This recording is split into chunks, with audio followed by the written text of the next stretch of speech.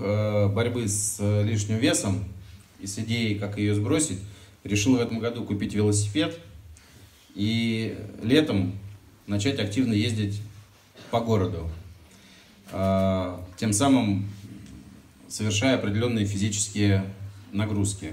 Поэтому я сам проеду по городу и на своем примере подумаю, где эти дорожки крайне нужны. Сам столкнусь с той проблематикой, с которой сталкиваются все, кто катается на велосипедах. Через себя это как бы пропущу.